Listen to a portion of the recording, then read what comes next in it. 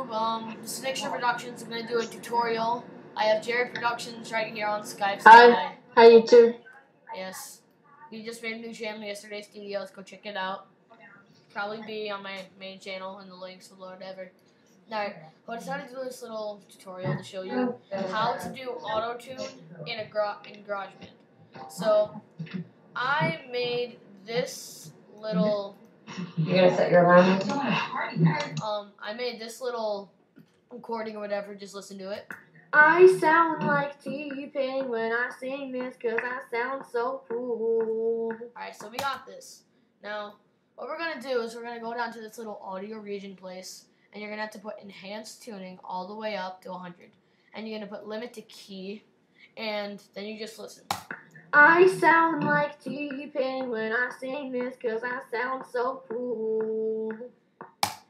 That was a really simple tutorial. Um, thanks for watching this. This is how to do auto tune in GarageBand. I expect that a lot of people will be using this now. So um, ask me for more tutorials uh, for Final Cut Pro, iMovie, GarageBand, whatever you want me to do.